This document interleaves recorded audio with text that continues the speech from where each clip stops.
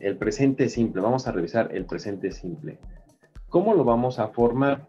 Primero, tenemos aquí dos tips eh, para aprenderlo rápidamente.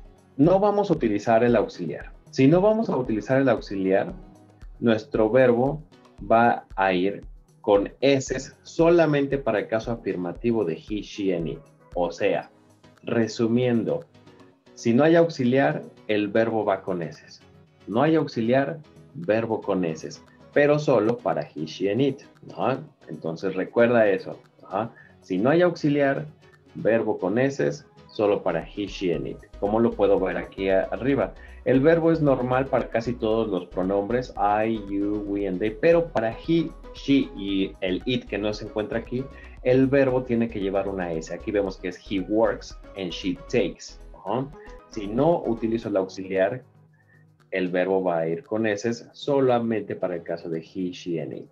Ahora, si voy a utilizar auxiliar, que normalmente se utiliza en negativos y en preguntas, si utilizo el auxiliar, verbo normal auxiliar, verbo normal, auxiliar, verbo normal. Si no hay auxiliar, el verbo va con S solo para he, she, and it, y lo demás va normal. ¿vale? Entonces, esos son unos tips este, que puedes aprenderte para tratar de aprender este tema del presente simple, de digerirlo más fácilmente. ¿Ok? Vamos a ver más sobre este tema que es bastante extenso vemos que el presente simple, como lo estábamos diciendo anteriormente, solamente en afirmativo y para he, she and it se van a utilizar S. ¿Y cuáles son las reglas para cuándo utilizar las S? Bueno, la mayoría les agrega solamente una S. Plays, likes, reads. Pero si los verbos terminan en CH, SH, SX o Z, se les va a agregar ES. Ejemplo, watches, finishes. Cuando el verbo termina en Y, pero la letra anterior es una consonante, se quita la Y y se pone IES. Ejemplo, studies. ¿Ok? Otros verbos que eh, no, sirven, no siguen más o menos estas reglas son estas tres excepciones. Go, do y have. Que en tercera persona, he, she and it, sería goes, does y has.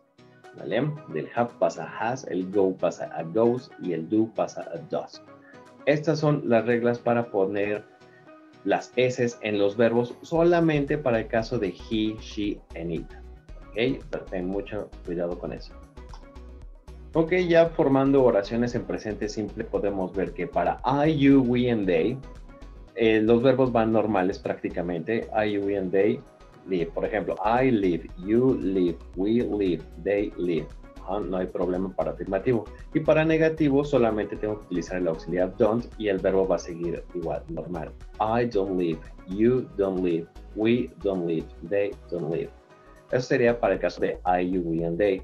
Para he, she and it, en afirmativo recuerda que los verbos llevan S.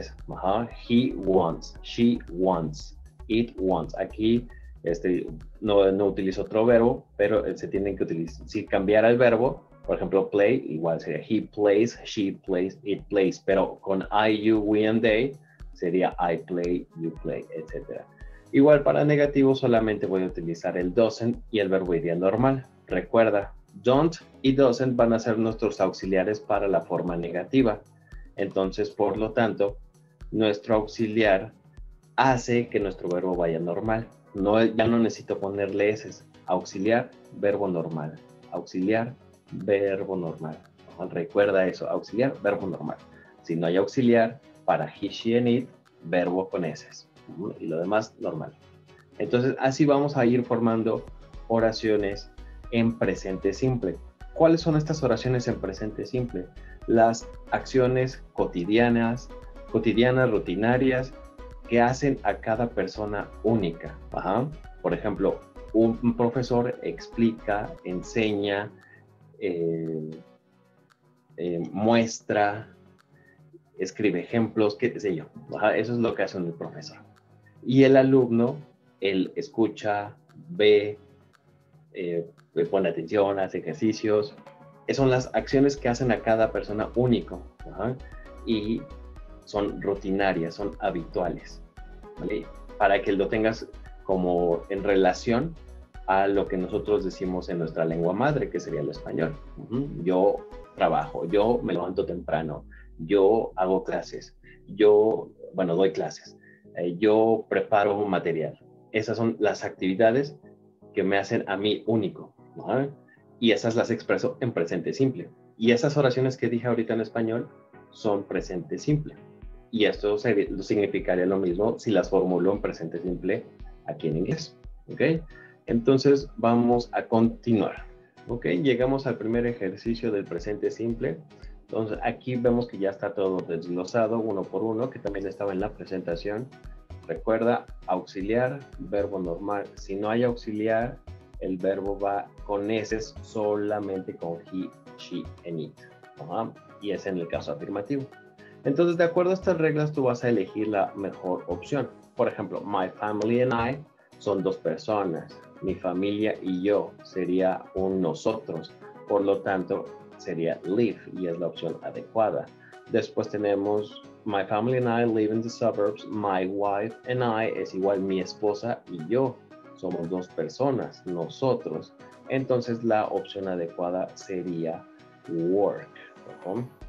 Para que de las dos opciones que nos dan es la que mejor completa con congruencia. My wife and I work near here. Ok, aquí en el siguiente ejercicio de presente simple tenemos igual los tres verbos irregulares, digamos, que no siguen las mismas reglas del presente simple.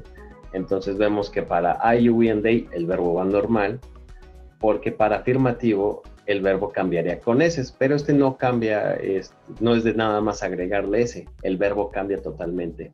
De have pasa a has, para do es does y para go es goes, que ya lo vimos en la presentación. Recuerda, con I, we and they, verbo normal, he, she and it, el verbo cambia. Entonces, igual, dependiendo del sujeto, tengo, tengo que elegir la mejor opción. My parents, my parents es eh, un sujeto plural, sería un they, son ellos, mis padres. Por lo tanto, la opción correcta es have. my parents have a house in the suburbs. My mom and dad son dos personas. My mom and dad sería go. Lo vamos a apuntar. My mom and dad go downtown to work. En el punto número 2, Complete the Conversation with the Correct Words, es un ejercicio muy similar al que tenemos en el Student's Book. Nos dan dos opciones de los verbos siguiendo las reglas del presente simple y vamos a elegir la mejor de acuerdo a las reglas. Por ejemplo, aquí es Yes, I live with my brother. Como es el sujeto I, el verbo va normal. Aquí es he, entonces sería he has. De las dos opciones es la que mejor queda he has an apartment near here. No puede ser have porque eso solamente sería para I, you, we and they.